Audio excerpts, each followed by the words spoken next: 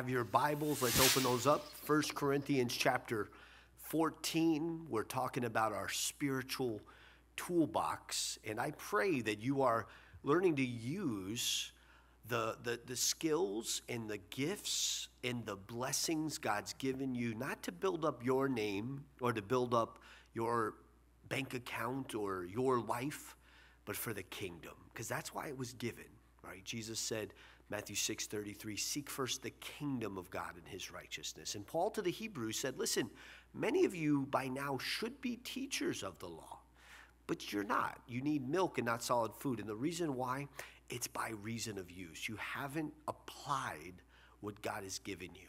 And that's the real emphasis behind these studies here, the, the spiritual toolbox, is that you and I are making sure we're applying it. We're reading the word daily. We're praying. If you're not reading the word and praying daily, you're not doing basic Christianity. So, whatever's going wrong in your life, stop thinking it's because of that. You need to go back to the basics. And now we're talking this week about the Holy Spirit. And the Holy Spirit is a person, He's the third person of the Trinity. God, and, and, and, He's with us. He's in us. He wants to be upon us for the purposes of serving the Lord. And today we're looking a little bit more at the gifts of the Spirit. You could read chapter 12, 13, and 14 and kind of study and get more acquainted with it.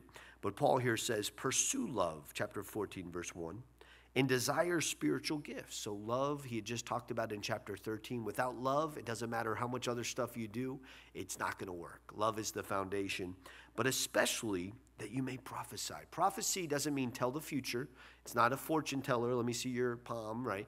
It's about foretelling the word of God. It's about speaking forth the word with power and authority, rightly dividing the word of truth.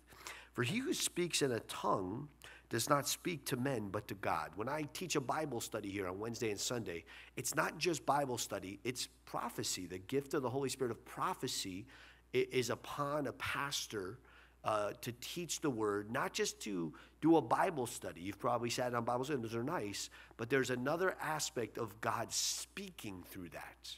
And he, he regularly does. He regularly does but does not speak to men, but to God, for no one understands him. However, in the Spirit he speaks mystery. But he who speaks prophecy speaks edification and exhortation and comfort to men. So, Paul here, he's helping us understand listen, speaking in tongues is a gift, and there are two gifts of that there's the angelic language, and then there is a actual known language. Uh, we see them both practice. In 1 Corinthians 13, Paul says, If I speak in the tongues of men or of angels, but have not love, it profits me nothing. So, but, but when you speak in tongues, you're speaking to God. It's not for man, it's for God. When you prophesy, you're speaking to man. You're, you're speaking forth the word. You're evangelizing. You're teaching the word. You're, you're, you're, God is using you as a microphone. And he's saying that's the one that needs to be more in, encouraged in the body of Christ. Verse 4 He who speaks in a tongue edifies himself, but he who prophesies edifies the church. He says, I wish you all spoke with tongues but even more that you prophesied. For he who prophesies is greater than he who speaks with tongues, unless indeed he interprets, that the church may receive edification. Now, one of the reasons we have all this information about the gifts of the Spirit, and why didn't Paul write it to the Galatians and the Ephesians and the Philippians? It's because they weren't misusing the gifts of the Spirit. They weren't allowing it to become chaos. And often what we see today practiced in the church as the moving of the Spirit is chaos. Uh, the Bible says, let all things be done decently and in order. In the book of Revelation, we see a spiritual worship service that was orderly. And that doesn't mean, chaos doesn't mean, wow, we're letting the Holy Spirit move here. No, that's not true. You know, uh, that's not true. That's not biblical.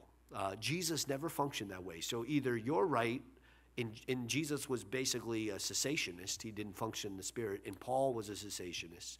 That means they, they think the gifts ended with the apostles, right? the apostles didn't function in the spirit like we see a lot of church groups doing today. So that's not accurate. What it is, is that we've moved away from the word. And I'll wrap this week up on this Holy Spirit. You need him so badly. You need his presence in your life. You need to depend on him. But there's an old saying, it goes like this too much word and not enough of the Holy Spirit, you'll dry up. You'll just become dead right. Too much spirit and not enough, too much of the Holy Spirit, but not enough of the word, you know, the crazy stuff, you'll blow up. but just enough word and just enough of the Holy Spirit, you'll grow up. So use those tools today. Father, bless your people. Holy Spirit, may you flood their lives. May you flood our lives. May you flood our church.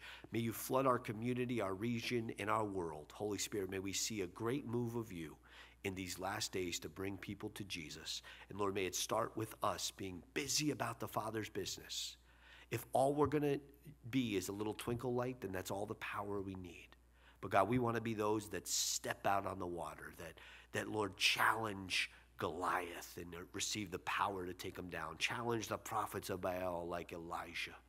Father, we want to be those that are busy about your business. Lord, we recognize your word is true. The harvest is plentiful and the workers are few. So, Lord, may we be busy about your business so we may receive the power of the Spirit to a greater degree to meet the needs of this day, Lord, to see on this rock you will build your church, and the gates of hell will not prevail against it. So, Lord, may we be those living stones walking in you. In Jesus' name, anoint your people, Holy Spirit, today.